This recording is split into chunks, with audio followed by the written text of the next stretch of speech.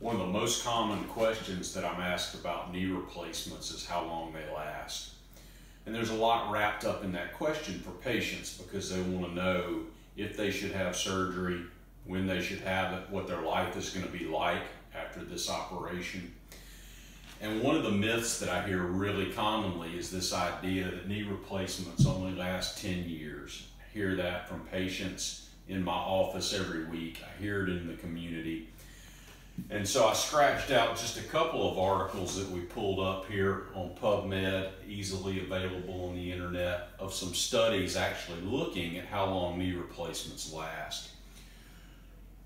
Journal of Arthroplasty in December of 15, Dr. Mont and his group showed 99% survivorship at 10 years. So at 10 years, almost all of this group had knee replacements that were in place and functioning well.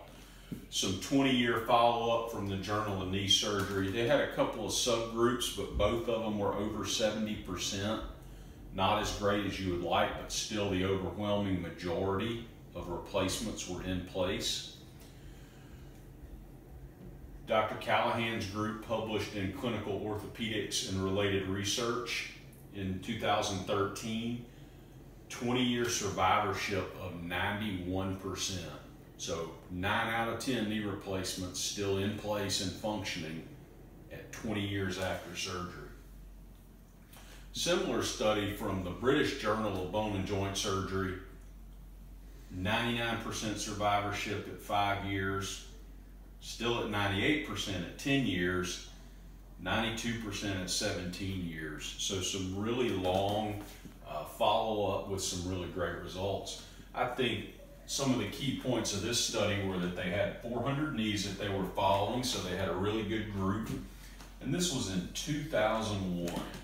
So this idea of a knee replacement that lasts 10 years is absolute hogwash. This has not been the case for a long time. Most knee replacements should be in place and doing well at 20 years and beyond. So I think that for a patient that's 50 or 60 that's active and that's very limited by their arthritis, they need to take this information into account when they're considering surgery.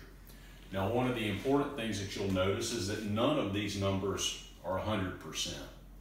No surgery comes with a guarantee, and so it's important that each patient talk about the risk of these kind of surgeries with their doctor and determine if they should have this surgery and if so, when.